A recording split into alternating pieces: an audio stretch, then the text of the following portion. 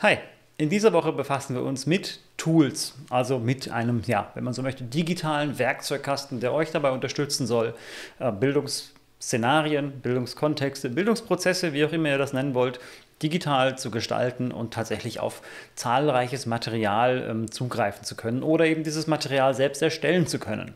Und ähm, die Erwartung an das Seminar, an L2D2 ist häufig, ähm, nach dem Motto, ich will hier Tools kennenlernen, mit denen ich meinen Unterricht digital voll cool machen kann. Die Wahrheit ist leider, dass ich euch diese Tools gar nicht empfehlen kann. Denn unter euch sitzen Geografen, Sportlerinnen, Biologen, Germanistinnen, vielleicht der ein oder andere Informatiker, MathematikerInnen. Ähm, ich kann gar nicht für alle Fachbereiche überhaupt generell diese Empfehlungen aussprechen. Was ich aber kann, ist, ich kann euch Listen geben und Webseiten zeigen, auf denen solche Tool-Empfehlungen für spezifische Fächer schon gemacht worden sind. Von Personen, die die Erfahrung schon gemacht haben mit diesen Tools und die vielleicht davon berichten, warum das eine oder das andere Tool ganz gut geeignet ist. Wir werden vielleicht auch über einige objektive Kriterien sprechen, die es an solche Tools anzulegen gilt. Nämlich die Frage zum Beispiel, ist es datenschutzrechtlich okay? Insbesondere dann, wenn ich mit Schülerinnen und Schülern gemeinsam in einem Tool online arbeiten möchte. Ähm, oder ist es denn Open Source oder ist es eine kommerzielle Lösung, weil sich das auch gegenseitig nicht immer ausschließt. Ja, die Frage ist, kann ich die Dateien, die ich damit erzeuge, später weiterverwerten, auch wenn es dieses eine Tool nicht mehr gibt?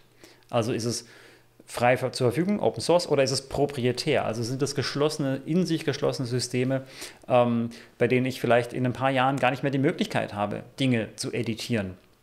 Ähm, und gerade das ist jetzt zum Beispiel nicht so cool, wenn ich plane, bestimmte Dinge auch langfristig einzusetzen. Ja, und natürlich gibt es auch Tools, die sind softwareseitig, äh, funktionieren die wunderbar. Und es gibt aber auch Tools, die sind Hardware. Und ein Stück Hardware habt ihr auf jeden Fall in eurer Tasche, nämlich euer Smartphone, ähm, mit dem ihr sehr, sehr viel machen könnt in dem, ja, im Unterricht oder für den Unterricht. Äh, mein Steckenpferd war da so immer ein bisschen das Thema Video. Äh, und da sind natürlich moderne Smartphones ganz vorne mit dabei. Ihr könnt damit super filmen, ihr könnt tolle Filme auch auf den Geräten tatsächlich selbst schneiden und nachbearbeiten inzwischen. Wenn schaut in die sozialen Netzwerke, Video ist dort im Moment ja einer der großen Vorreiter, wenn nicht sogar schon das bestimmende äh, Medium vielleicht neben Text. Ähm, aber darüber wollen wir sprechen, über was für Tools gibt es, wie könnt ihr die einsetzen. Und ich würde mich sehr freuen, wenn der eine oder die andere von euch sich bereit erklärt, ein Tool seiner oder ihrer Wahl auch in der ganzen Runde einmal vorzustellen. Ansonsten sehen wir uns im nächsten Video. Bis dahin, ciao.